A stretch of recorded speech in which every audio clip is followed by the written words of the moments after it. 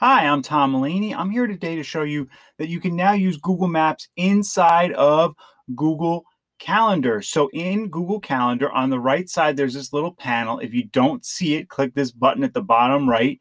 You'll see that, right? Click it to show side panel and look what's there, a little Google Maps icon. And so if I search Google Maps right now, and I get my Yankee Stadium result. But now check this out. Look what we can do here. So I'll click on Yankee Stadium, I'll get the information, and I'll go into any day. So say August 10th. And let's say I want to add either the address, I can get that little copy address button. And now I'll put that in the location. Or I could copy the website or I can copy the phone number. All the things that you really want for uh, event creation. Now, the other good thing is, is I can keep searching.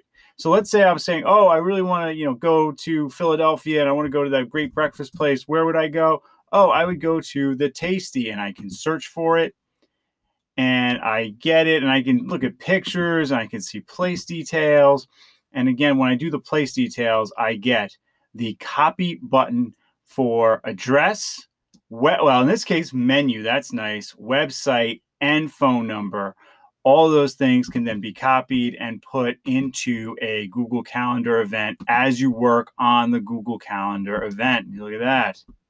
See, pretty nice. It's a really nice integration. This is a really nice step forward from Google Workspace. I applaud them on this one. Google Maps inside of Google Calendar. If you have any questions about this, please comment below or tweet me at Tom E. Mullaney. Please like, share, and subscribe. Thank you so much for watching.